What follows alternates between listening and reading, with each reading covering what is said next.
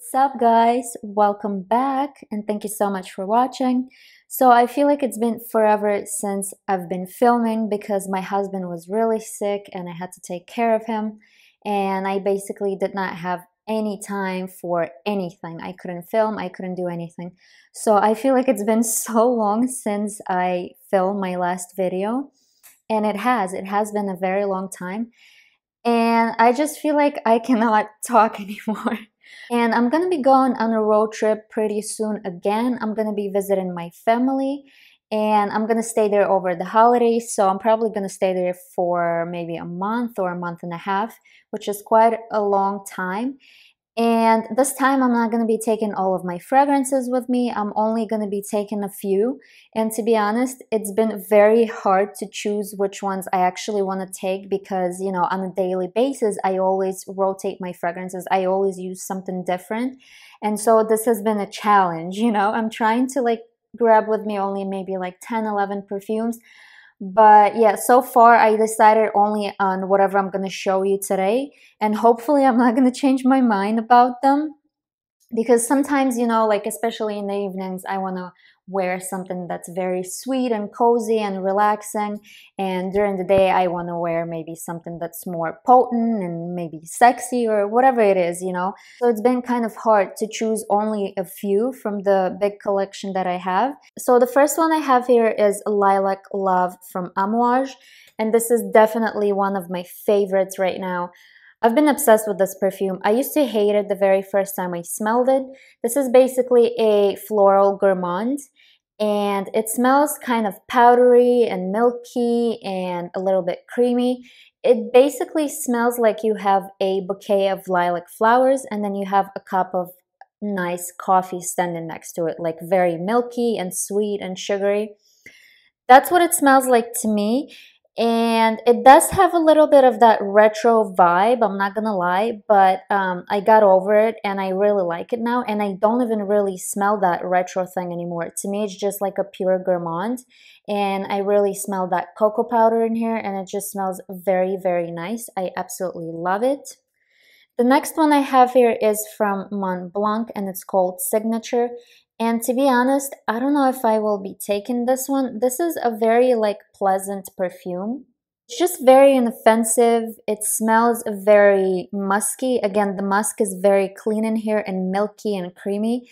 It basically smells like a white feather like it reminds me of feathers. It's so light and fluffy and absolutely beautiful. There's also an orange in there and it smells very sweet. To me it kind of smells soapy. For me it's more on the clean side the soapy side not the gourmand side. A lot of people say that this smells like an orange cheesecake or an orange cake or something like that I don't smell any of that stuff in here. For me, it's just very clean and soapy and I really like to wear that at nighttime. I of course I wear this during the daytime, but I definitely like wearing that at night just because of how soft it is. So yeah, I'm not really sure yet because I want to take other fragrances with me which are kind of in the same category as Montblanc. But yeah, I'm not sure yet. I might take that one or I might take something instead. I don't know yet. But the next fragrance that I will be taking with me is of course one umbrella for two from Floraiku and I am not going to be taking the whole bottle. I will take only 10 ml with me. Um, this is by the way the travel case. I'm going to show you how this case works. So basically I have the 10 ml right here. This is the travel spray bottle. And then you basically open this bottle like this. This is the case for it. And then you put the travel uh, spray in here like that. And then it looks like this. And then there's a cap for it which is right here. Close that. And then this is what it looks like. Isn't that cute? It's absolutely beautiful. The case is very nice I don't know if this is genuine leather or not but it feels like leather and it's super super pretty I just absolutely love this. And of course, I have a cap for this bottle too, just to keep this at home. Or you can actually take this bottle because this is quite heavy, uh, like the lid from, from this bottle. So if you don't want to carry that bulky stuff, you also have an option to change the cap and put like a smaller cap here and then just carry this. This is, by the way, in 50 ml, so you get 60 ml in total. But I will not be taking the whole bottle, even though this is not that strong. I feel like it doesn't last that long either, and I feel like it doesn't project that well. So basically, I kind of have to overspray this. But um, I'm gonna be taking a bunch of other fragrances with me, so I will just take this travel spray. Absolutely cute. So the next perfume I will be taking with me is La Petite Robe Noire from Guerlain. And this is basically a cherry scent. To me, it smells like a cherry candy. There's licorice in here and there's just like a bunch of other stuff. There's patchouli in here, but um, it's absolutely, absolutely beautiful. And I definitely like this perfume for fall time and winter time. It's so strong. It projects very nicely. I get compliments every single time I use this perfume. And this was repurchased many times over the years.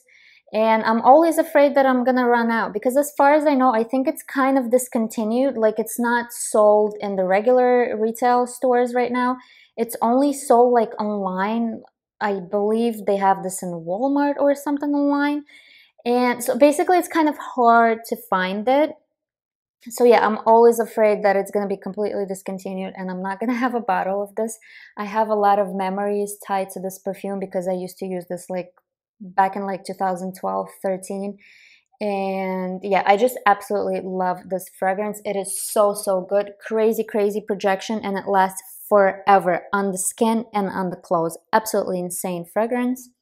And the next one i will be taking of course is Metallique from tom ford this is just a gorgeous vanilla and I don't know why people are not really talking about it. Um, a lot of people say that it smells metallic and I think they just look at the name of the fragrance and they're like, oh, whatever, yeah, it's gonna have something synthetic, something gross about it. I don't know, possibly like chicken liver or a rusty spoon or blood and all of this crap, all the nonsense that I hear about this perfume. This is a gorgeous vanilla scent. It smells kind of soapy in the opening because there's aldehydes in there. But once it dries down, it's just a gorgeous vanilla perfume. It's very light again, kind of powdery and just like fluffy and a little bit milky. To me, this is basically a soapy condensed milk perfume. I know that sounds weird, but because of those aldehydes, like I said, it smells very soapy and then it just dries down to this very beautiful, fluffy and milky vanilla. It smells like condensed milk. I know that a lot of people smell condensed milk in this one, so I am not the only one. And the performance is okay. It's not the best. I would say it lasts about four hours. It definitely uh, performs a lot better in the cooler weather than when it's, you know, kind of hot and warm and humid and whatever.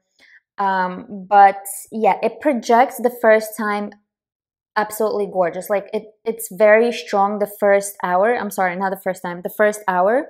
It projects very nicely. And then it just kind of sits close to the skin. But if people are next to you, if people are hugging you, they will definitely smell this perfume. And it's absolutely gorgeous. So the next one is from Montale and it's in, I believe, is this 30 ml? Let's see what this is it. This is in a small bottle, basically. This is like a travel size.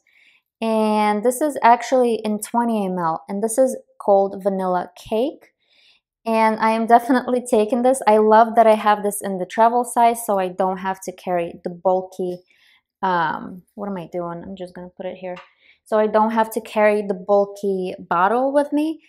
I absolutely love this fragrance. It definitely smells like a vanilla cake, vanilla ice cream. There's like lots of roasted almonds in here, sugar, vanilla, and like whipped cream and milk. Absolutely gorgeous. One of my favorite vanillas ever.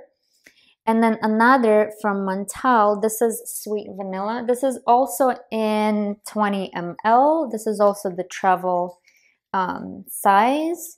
And they're so cute. Personally, I love the Montale bottles. I think that they look very unique, you know, like different. And yeah, okay, so this is sweet vanilla.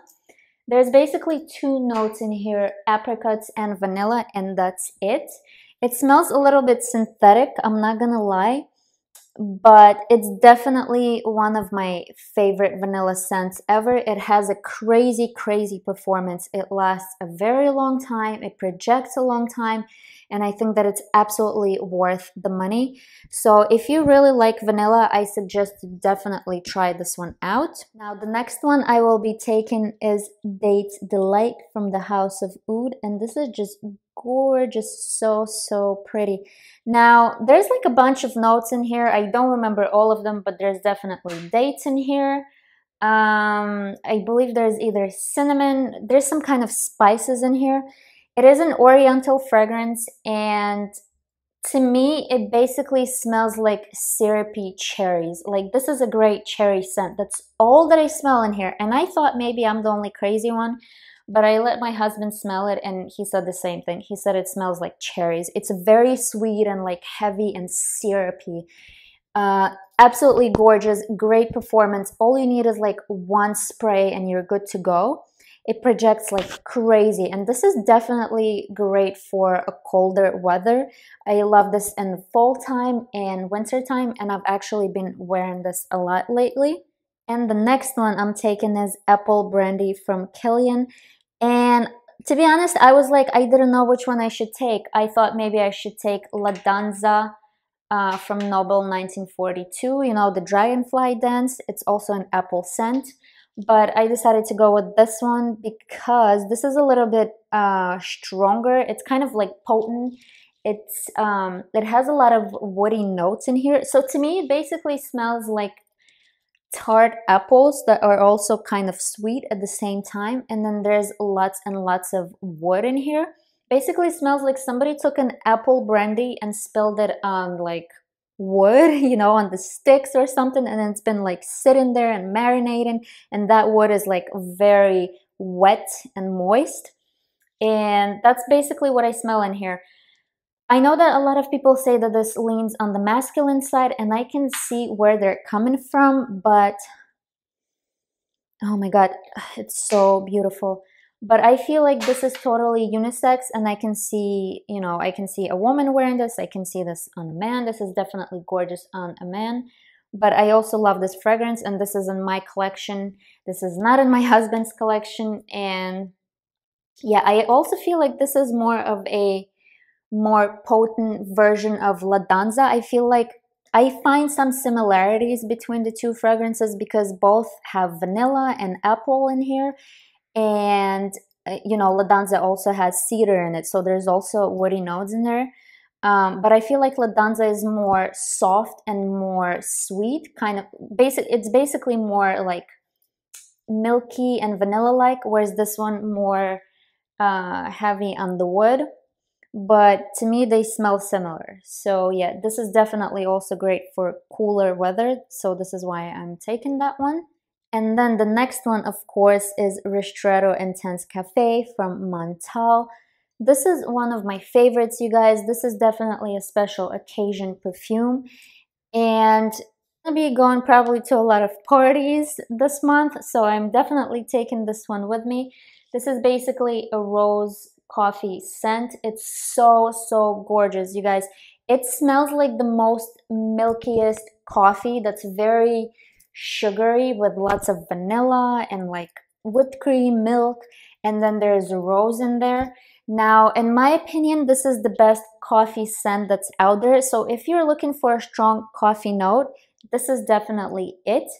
Now, this is also in the Extrait de Parfum. This is not an EDP, so this is technically supposed to be stronger than EDP, but in my opinion, it is not. I feel like it performs just like EDP, if not even worse, to be honest. I feel like I smell this for the first hour or two, and then I feel like it sits close to the skin. I don't know if it's just my nose that's getting used to it or what, but yeah, that's just what I get from it. Another downside with this one is that it's very oily. There's like pure oil in here. And every time I spray this on my skin, it just drips and I kind of have to, you know, rub it in or whatever. And I try not to spray that on my hair because my hair gets greasy from that fragrance. But absolutely gorgeous. The projection is insane. Everybody will smell this on you and everybody's gonna go crazy. They will definitely ask you what you're wearing. You're gonna be like the star of the show. I'm telling you, 100%. Now, the next beauty that's coming with me is, of course, Lira from Xerjoff. And this is a beautiful gourmand, absolutely stunning for winter time and fall time. Again, this is this is also great in the summertime. I absolutely love all of my gourmands in the summertime, but I feel like because of its performance, it's not the best for a hot weather. Um, the performance could be definitely better. It doesn't project that well. It only projects the first hour or so, and then it starts sitting close to the skin. However, the scent is just absolutely beautiful. It smells like a lemon uh, caramel cookie or a lemon cake. It's just so, so yummy. Definitely giving me like a cookie vibe thing. And every time I wear this, okay, if I want to like impress somebody with my perfume and it doesn't project that well, it doesn't have the best performance, I spray this right before I walk into the room or, you know, the building or whatever. And people definitely can smell this. Like I said, it projects pretty well for the first hour or so and then it sits very close to the skin. But every time I wear this, people go crazy. They're like, oh my God, what are you wearing? It smells like vanilla. It smells like cookies. You know, people always ask me what it is.